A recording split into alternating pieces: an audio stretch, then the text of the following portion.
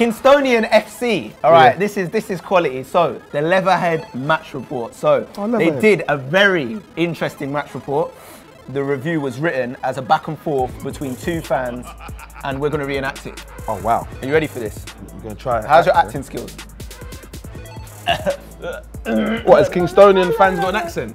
The pressure. How should I say it?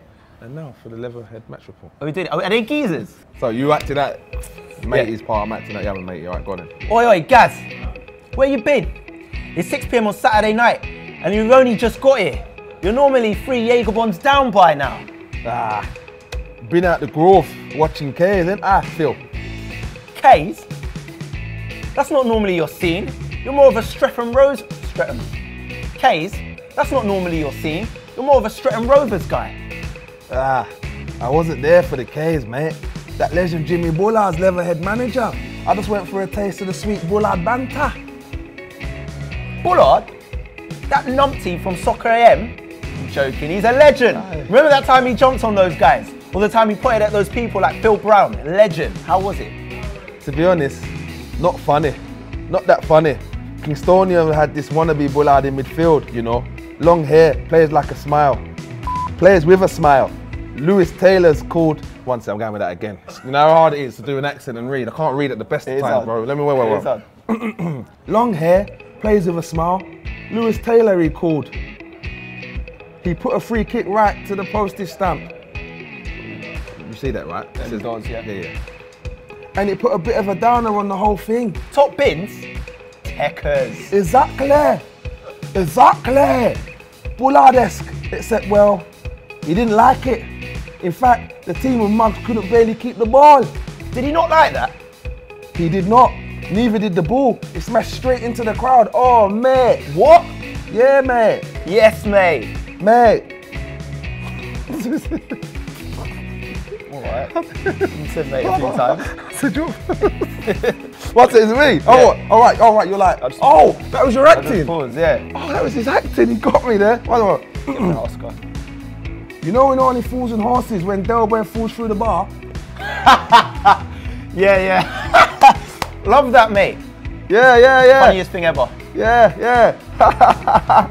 it isn't it because oh, is it is all right. it is, isn't it? Wait, do I say, wait, do I, wait, do I say trigger pulls a face? It is, isn't it? Because Trigger pulls a face! Exactly. Well, mate, I saw something funnier than Delboy falling through the bar. Craig, Oh, me. No, you didn't. one second, where's this one ain't Craig in not- writing? it's in bold. Say Right, the anyway, again. Mate, Bullard, he's there in his skinny jeans, in his jeans. Bullard's there in his skinny jeans, in his designer coat.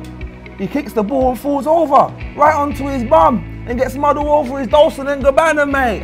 mate! Exactly, mate. Great banter. Everyone loved it. Did anyone pull a face?